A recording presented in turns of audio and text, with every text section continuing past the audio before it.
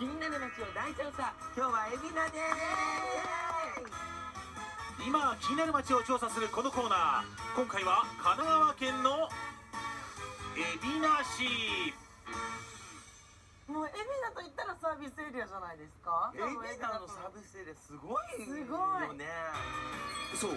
休日は1日平均10万2000人が訪れる日本最大級のサービスエリアがしかし今サービスエリアだけではないんです。ママたちが子育てしやすい街をテーマに今進化の真っ只中。なんと田園地帯に新しい街が誕生。子育て世代に人気が上昇中なんです。今年のこれから人気が出そうな郊外の街ランキングでも5位にランクイン。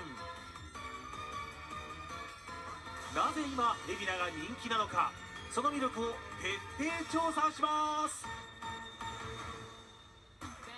海老名の魅力を知るための3つのキーワードがこちら。